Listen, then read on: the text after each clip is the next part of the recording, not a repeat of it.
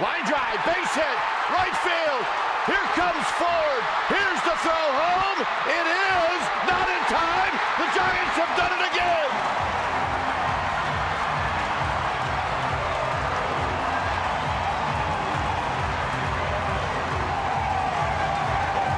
It truly is the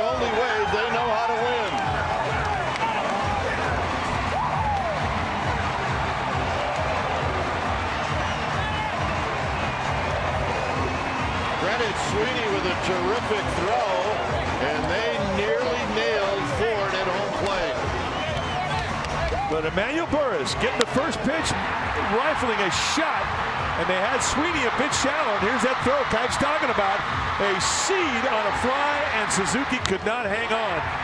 And even the great speed of Darren Ford challenged by the accuracy of the throw from Sweeney. And for the seventh time this year, the Giants have had a walk-off home run here at AT&T. And Kuip, that is just what they do. Well, it's the bench, it's the two speedy guys, and the Giants. Once again, a walk-off win. And they had to hesitate because it was very close, and then Suzuki could not hang on. And the Giants in 11. Darren Ford coming in hard.